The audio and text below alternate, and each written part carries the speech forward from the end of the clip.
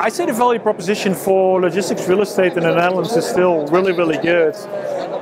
What we see is that there's still continued demand also from online shopping. We see more and more people since COVID have started ordering online, and with that, there's an additional need for logistics.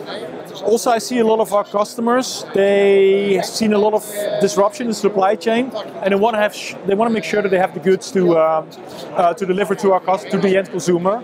So they're starting to build up a higher inventory level, and with that, they need more warehouse space. So we see more and more demand there.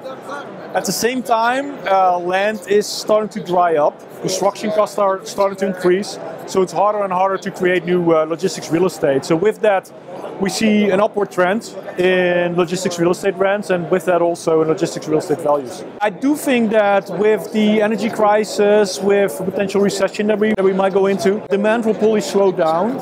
Um, it's just that supply is still so limited that I think the long-term outlook for the sector is still very, very strong. Yields will soften. I mean, in the end, yields will follow the interest rate, right? And interest rates uh, are rising, have been rising, and we already have seen uh, yields uh, moving up. Um, so that will have, you know, a negative impact on, on real estate values.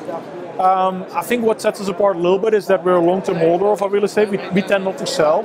So we really look, look at the long-term income potential, and there we still feel quite good about the sector.